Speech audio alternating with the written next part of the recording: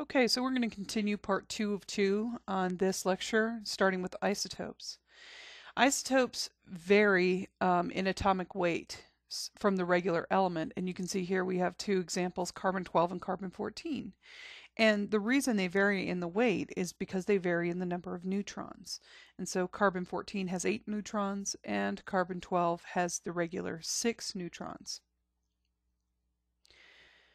Some is isotopes can be unstable and change to form other elements. However, all atoms are isotopes of one form or another, and most are stable. Some of the energetic emissions giving off during isotope breakdown are called radioactivity, and they can include X rays, gamma rays, alpha particles, which are helium nuclei, neutrons, and beta particles. So the number of atoms left at any time t is reduced from the original number by the rate of decay times time for radioactive decay. So if the half-life of a radioactive isotope is five days, then in five days it will decay to half the amount that was present in day zero. In 10 days it will decay to a quarter of the original amount, um, because that's one half times one half. In 20 days it will decay to one half times one half times one half times one half, or one sixteenth. So if you start with 100 radioactive atoms, after one half-life you'll have 50, two half-lives 25, and so on. That gives you a neat little radioactive decay curve, and you can actually measure the amount of time that it takes by looking at the curve. So you can determine the half-life by looking at the graph, and in this case the half-life of strontium-90 is 25 years. There are some practical uses for isotopes. Uh, molecules containing different isotopes are not metabolized differently from each other. So a carbon-12 will get metabolized the same way a carbon-14 would, for example. So thus the molecules containing radioactive isotopes can be made and used to trace movements of those molecules in an organism or in its cells. Radioactive isotopes are used to diagnose and treat disease, and they can be used to date fossils. The ratio of the radioactive isotopes and absorbed nutrients is constant in the environment, and certain isotopes selectively decay, so the ancient materials have a changed isotopic ratio from those of the current present-day organisms. Now a difference between isotopes and this one that I'm going to talk about, ions, is that we're not differing the number of neutrons, we're differing the number of electrons. The net charge of an atom is usually zero because the number of electrons is usually equal to the number of protons. If the number of electrons does not equal the number of protons, the atom is called an ion. Ions have a net charge. The charge is dependent on the number of electrons. So if the number of electrons is greater than the number of protons, then the ion is negative, and it's called an anion. If the number of protons is greater than the number of electrons, then the ion is positive, and it's called a cation. The magnitude of the charge is dependent upon the difference in the number of electrons and protons. For example, if an atom contains 7 electrons and 5 protons, the net charge is negative 2. When we start to combine atoms, you have to understand that atoms really only react when they come very close to one another, and this is called the collision theory. Atoms can stick together and form molecules, which are combinations of atoms or they can just bounce off depending on charge and a whole bunch of other factors. If the molecule is formed from more than one element, in other words, from different kinds of atoms, we call the resulting molecule a compound. The molecular weights are merely the sum of the atomic weights of the composing elements. So NaCl, which is table salt, um, or sodium chloride, has a molecular weight of 58 because it contains one sodium uh, atom and one chlorine atom. Sodium weighs 23 atomic units, while chlorine weighs 35. Chemical formulas describe the composition and or organization of molecules. The simplest formula, also called the empirical formula, is the smallest whole number ratio of atoms per molecule. The subscripts indicate the number of atoms.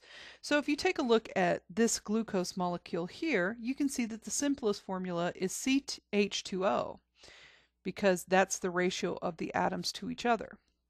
The molecular formula indicates the actual number, not the ratio of the atoms in the molecule. So in this case, glucose is C6H12O6. This is one of the few chemical formulas you do actually need to know in biology. Glucose is kind of what makes the world go round, so you do need to know that one. And finally, the structural formula shows the actual number of atoms as well as their connectivity. In other words, which one's connected to which one. Um, and so you can see here the structural formula of glucose, which is actually called cis glucose. There's another one called trans glucose, and it gets a little complicated in organic chemistry. You don't need to worry about that part. Just be able to recognize this little hexagonal structure as glucose.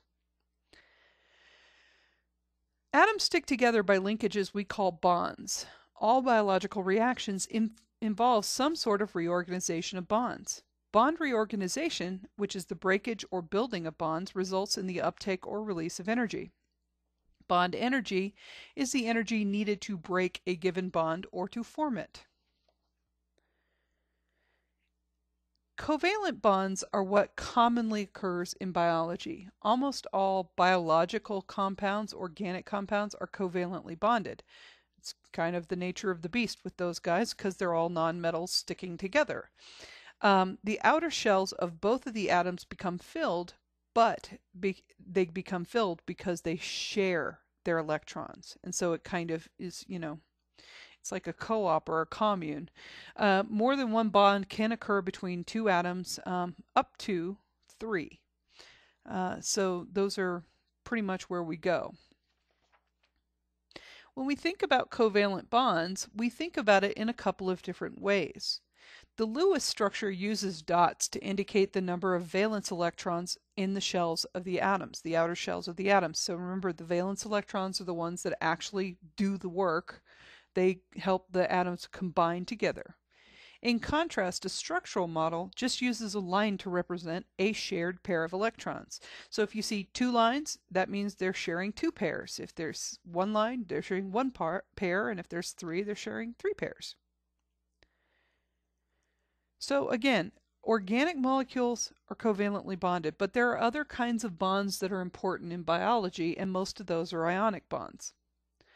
Ionic bonds happen because one atom loses an electron and the other atom takes it, or more than one. An electronegative atom, remember I said the electronegatives steal the electrons from another atom to fill its valence shell because they want to have a full valence shell. So, in other words, one or more electrons leave one atom center to live with another, and they become ions. Both of them become ions, and so it's called an ionic bond. An example of ionic bonding is sodium chloride. When we put it in water, it breaks up into its component parts into the sodium ion, which is a cation, remember it's positively charged, and the chloride ion, ion which is a, an anion.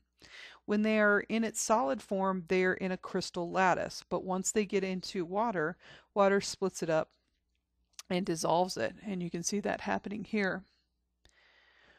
Water can easily dissolve the salts because it forms these hydration shells around the ions. Water becomes a solvent, and it's considered the universal solvent, although it doesn't work in every case, and salt is considered the solute. Because of those hydration shells, the ions can't see each other anymore, so they can't form those reform those ionic bonds. Remember, in order to dissolve in water, it has to be similar to water. So the solutes have to be either polar or ionic, and you'll hear about polar uh, nature of water in a later lecture. In polar covalent bonds, this is a little different because you look at things like water and it's caused by a partial positive and a partial negative charge, even though there's not really a covalent bond, there's not really a sharing. Um, there is, but there isn't, and the reason there is, but there isn't, is that it's unequal because for things like water, the electronegative oxygen pulls those electrons from the hydrogen. And so the electrons tend to hang out more over by the oxygen than they do over by the hydrogen. So the oxygen gets a partial negative charge and the hydrogens get a partial positive charge. And so water is a common um, polar covalent bond, and that can result, that partial negative and positive charge results in hydrogen bonds. Hydrogen is required, hence the name, and an electronegative atom must be covalently bonded to the hydrogen, in this case oxygen. The electronegative atom incompletely pulls the electrons away from the hydrogen nucleus and they become displaced but not removed from the oxygen, so it's not an ionic bond. Examples of such electronegative atoms are oxygen, nitrogen, and sulfur. Please note that all of these elements are needed to fill their valence shell, and please see the periodic table. And finally, there are weak forces called van der Waals forces. These are short-lived charges on the surface of molecules that induce opposite charges in adjacent molecules. And so they, they kind of form a temporary bond, but not really. Um, they become more important in enzyme bonding and in DNA, and we'll talk more about that later. Okay, this concludes part two of two of lecture two, and uh, hope you have a great day. We'll see you back next time when we talk about properties of water.